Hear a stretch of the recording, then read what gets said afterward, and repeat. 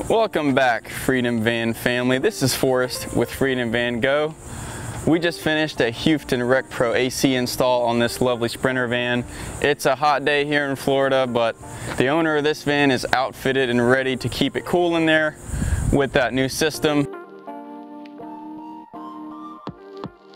Got it in this morning, made all of our cuts, made some nice shore power plug modification to the rear and so he can plug in and run that AC off of a 110 circuit anytime he feels the need to. Quick build, very straightforward, and we're glad to see the customer on the road with his new upgrade.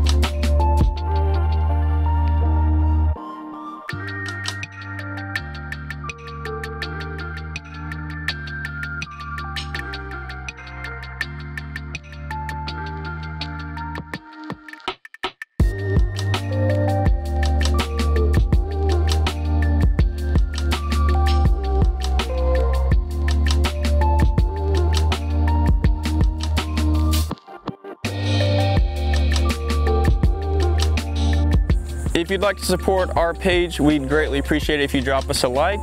Follow us at Van Parts Warehouse and Freedom Van Go. This has been Forrest with Freedom Van Go. Thanks so much, and we hope to see you in the next video.